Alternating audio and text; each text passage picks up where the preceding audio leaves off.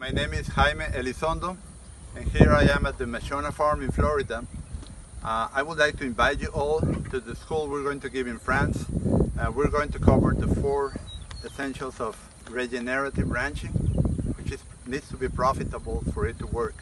We're going to talk about adapted genetics, uh, mainly nutritional adaptation, heat adaptation and parasite resistance.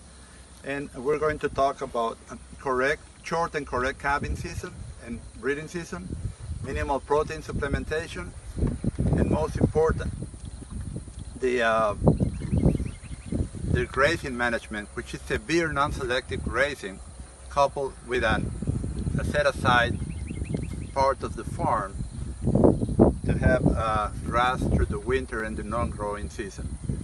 And we alternate these areas every year. A farm is a good business if you manage correctly.